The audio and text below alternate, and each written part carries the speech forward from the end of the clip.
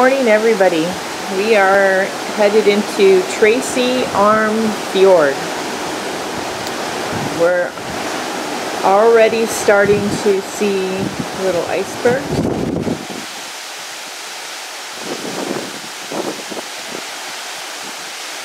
Haven't seen any wildlife yet, but we've heard that you might be able to see some on the shore.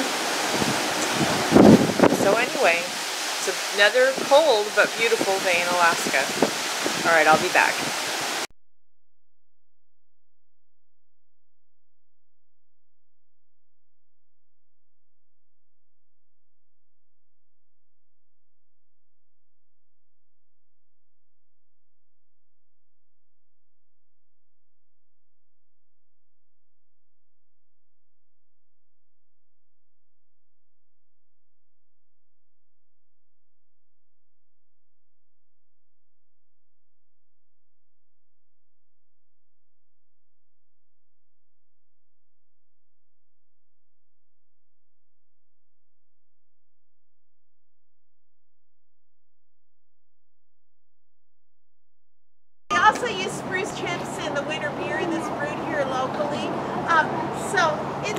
Local food source and something we're going to see. The- and then also if you look at the snaps, they're filled in where they're all curled up.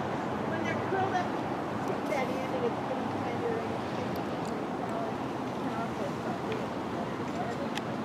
Not bad. And we also have a lot of here dishes in here, but we don't have any identifiable.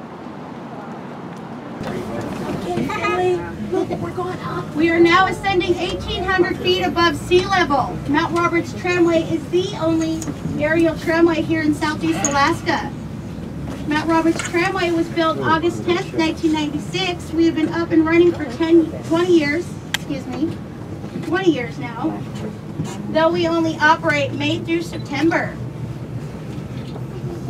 We are now passing through an Alaska temperate rainforest where we average 90 inches of rain and 100 inches of snow a year.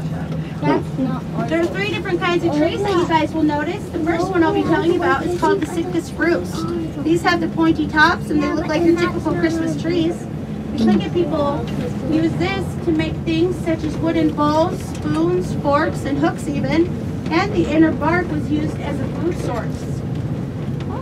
The second one is called the western hemlock. These are the droopier trees with the droopier tops. The Tlingit people use this mainly for medicinal uses.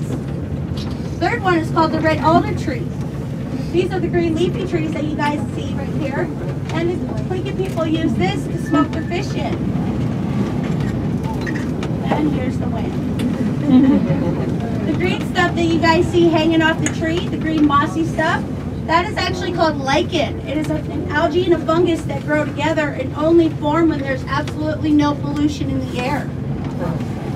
Once we reach the sky bridge, you guys will notice that there are windows wrapped all around for you guys to enjoy this beautiful scenery. All that we ask is you please keep your phones, tablets, and cameras inside of the windows because we have because we have no way to retrieve them and they will become a part of the mountain. Down the sky bridge on the left, we have a Raven Eagle gift shop. We also have Alaska Timberline Restaurant where we offer things such as nachos, Indian tacos, and the judge's blueberry pie. Now we're gonna go to We also offer a vegetarian's menu and, oh, Olivia, that's the place We're okay. with the lifestyle. and we also have a children's menu as well. Somebody's going in the water Downstairs in the main building, there's a fellow taking pictures. You guys can get your pictures taken with polar bears, bears, penguins, moose, and even Sarah Palin.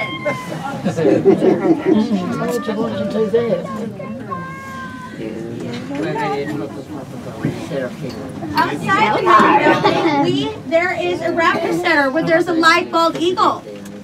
Her name is Lady Baltimore. She was injured, so she was not able to be released back into the wild. If you oh guys go see her, please keep the noise down to a minimum and turn the flashes off on your cameras. There's also a nature center. They offer information on the conditions on the trails up here, and you can purchase a map for a dollar.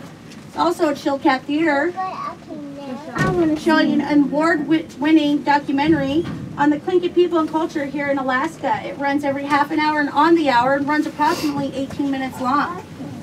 Please watch your step as we are exiting. We will exit out of these two doors in front of me. Please